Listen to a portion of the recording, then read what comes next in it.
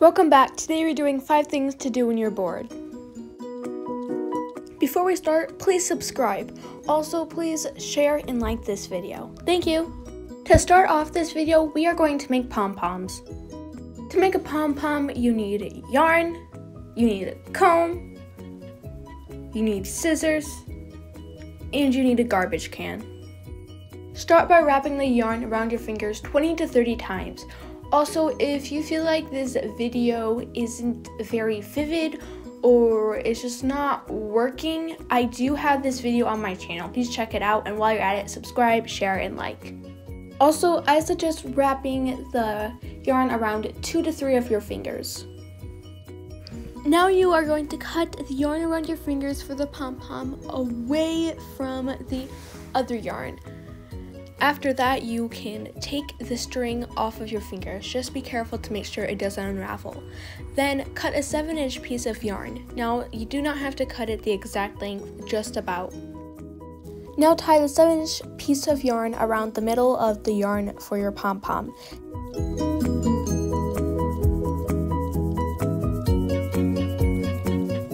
As you can see, I had quite a struggle making sure that I tied the 7 inch piece of yarn around my yarn ball. Now make sure that it is very very tight because if this comes undone, your pom-pom comes undone. Now take your scissors and start cutting the loops. Now take your garbage and do this over your garbage. The only reason I didn't is because otherwise you wouldn't really be able to see it and it was a little bit of a struggle. Make sure you go through and make sure that there are absolutely no loops that have not been cut. You might find some later and that's alright, just make sure that you cut them. Now take your comb and start combing your pom-pom. This step is unnecessary. I definitely suggest it though because it's what really makes it look like a pom-pom. Also, be careful when you do this because you want to get it really fluffy, but yet you don't want to like pull the strings up because you're doing it so hard. I I kind of had a rhythm of just striking it and then going back and forth. You definitely have to be careful with this though. I suggest doing it over a garbage because otherwise you have a bunch of fluffies on your floor and that is what your garbage is for. So I like to roll the pom-pom in my hands just to get it a very round shape. It, it just seemed to help. Um, that's totally up to you though. You do not have to do that. Um, also, make sure that you trim afterwards after you've combed everything because then you actually get a round ball instead of this big, fluffy, everywhere pom pom. By the way, trimming and fluffing this pom pom does take a while. I am going to skip most of it though because otherwise that would be super boring just watching me do it over and over and over and over again. Here is the finished pom-pom. I hope you like it because it took hours of trimming and cutting and combing. So I hope you like it and do it yourself. The second thing we're to do is make a bow out of wrapping paper. This is really simple because all you need is wrapping paper and tape. Also, you do need scissors to cut it out. So basically what you do is you get a rectangle piece of wrapping paper depending on what size you want it. And make sure you cut it the right size and you trim it up really nice. Now you're gonna like scrunch it in the middle. Try to be careful when you scrunch it. As you see, I did that because uh, wrapping paper is a little bit finicky. Also, you can do this with like felt or just a fabric. It's up to you. Then you cut a small piece of wrapping paper and roll it up. Now you tie it around there as you can see I did and you cut off the excess and tape it. Once you've taped your bow, you're completely done. And that's how you make a super easy, simple, anytime bow. Also, I do have a complete video on this. Number three is a polymer clay rose. Now, of course, I'm using polymer clay. I'm pretty sure you can use just regular clay. I would suggest the air dry clay, although some clays are like too crumbly and just don't work for what we're doing here. Of course, the first thing you need to do here is knead your clay because it softens it and makes it easy to work with. Once you've kneaded your polymer clay well, you can start splitting it into pieces. I suggest between 5 and 10 pieces, but it's totally up to you. That's just what I suggest. If you don't know how to get very even pieces, what I like to do is I like to roll it and then I will like split in half, then split in half again. That's just how I do it, but it's totally up to you. Also, if you feel like you need further instructions or it just doesn't seem to be working, I do have a full video on making a polymer clay rose on my channel. While you're at it, subscribe, share, and like this video. When you're making these balls, do not look for perfection. You do not have to roll these balls for 5 minutes each. They can have a little bit of blemish and they do not have to be imperfect. They could be part rectangle and they would still work just fine. Once you have all of your balls, take a hard flat surface, for example a book, and push these down until they are very thin. You don't want them to be like super thin, but you do want them to be uh, about a millimeter thin.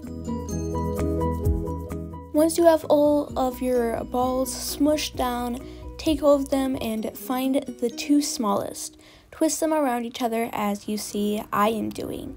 Then take the third smallest and wrap that around again, and etc.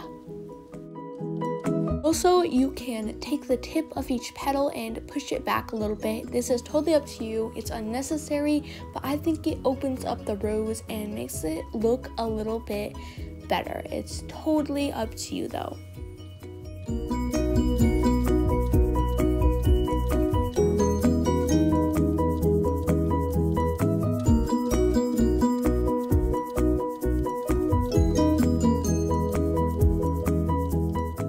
After going over this and adjusting it to my liking, I am done. This is really simple and I hope you like it. Number 4 is make peanut butter blossoms. First, you need half a cup of peanut butter.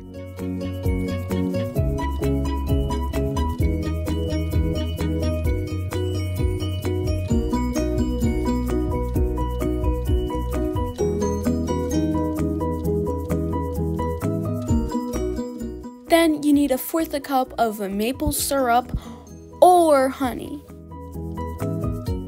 Now add a fourth a cup of protein powder. If you don't have protein powder, use either oatmeal or powdered sugar. I would suggest oatmeal because it does the same effect as protein powder. It dries it out and it does not have much taste. If you want to use powdered sugar, now mix everything you can. it just makes it a lot sweeter. Texture. Also make sure that you stir up the contents on the bottom. Now I'm adding a fourth a teaspoon of salt to this.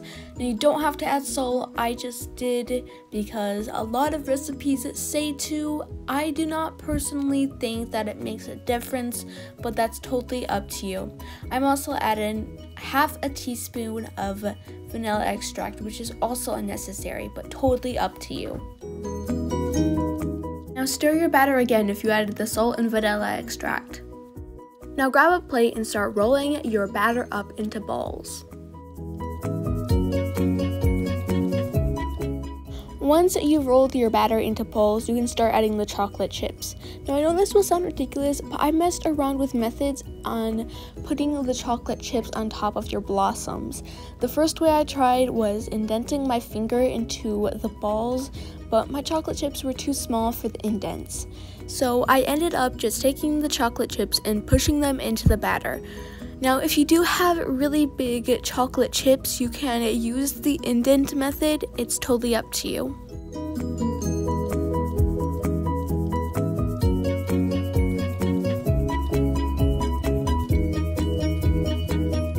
Here are the finished peanut butter blossoms. Now you do not have to bake these, all you have to do is keep them in the refrigerator so that they stay good. Number 5 is make chocolate covered pretzels. All that you need for this is pretzels, chocolate, and a candy cane if you want. First you take the candy cane and you smash it into little pieces. Then you lay your pretzels out on parchment paper. I had my parchment paper on a tray so that I could move it around, but that is optional. Now take your chocolate and melt it at 30 second intervals. Some chocolate takes longer to melt, some doesn't. Also, you can use either white or brown chocolate. It's up to you. I definitely think that the white is sweeter, but some people have different tastes. Also, when you melt the chocolate, make sure that you take it out and stir it around. Sometimes you need to melt it again, sometimes you don't. You just have to make sure that you get it nice and smooth and there are no chocolate chunks in there. Now I'm melting the white chocolate, same thing as the dark chocolate. You can do both white chocolate and dark chocolate, it's up to you.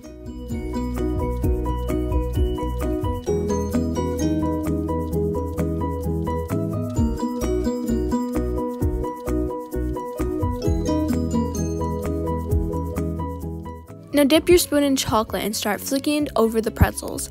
Make sure that each pretzel gets enough chocolate. Also, make sure that you add the candy cane right after the chocolate is done.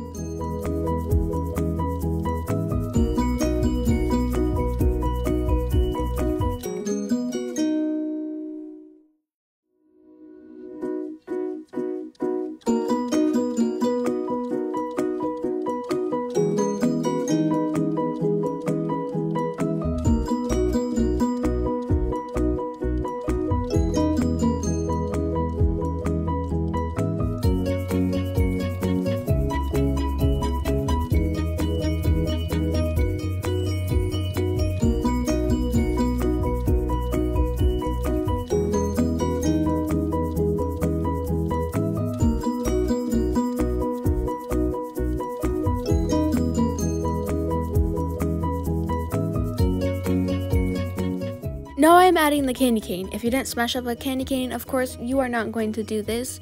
But if you do feel like adding something special, but yet you don't want to smash up a candy cane or you don't have it, you can add something like M&M, although it is chocolate on top of chocolate.